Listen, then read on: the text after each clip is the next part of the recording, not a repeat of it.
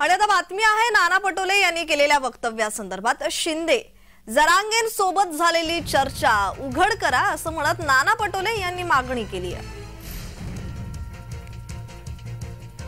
वास्तविकता काय आम्ही जे वारंवार सांगतोय की मुख्यमंत्री आणि जरांगे पाटलांचं जे बोलणं झालं ते जाहीर झालं पाहिजे. मुख्यमंत्र्यांनी महाराष्ट्राच्या जनतेसमोर जे काही वक्तव्य त्यांनी जरांगे पाटलासोबत केलेले आहे आतापर्यंत आणि चिवटे नावाचा तो त्यांचा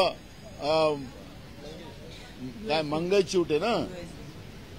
काय ओएसडी तो त्या ठिकाणी जरांगे पाटला बरोबर पहाटेला गुलुगुलू करायचं तो काय करत होता आणि काय चाललेलं होतं याची माहिती सुद्धा त्याच्यामध्ये आली पाहिजे. ही मागणी आम्ही करतोय.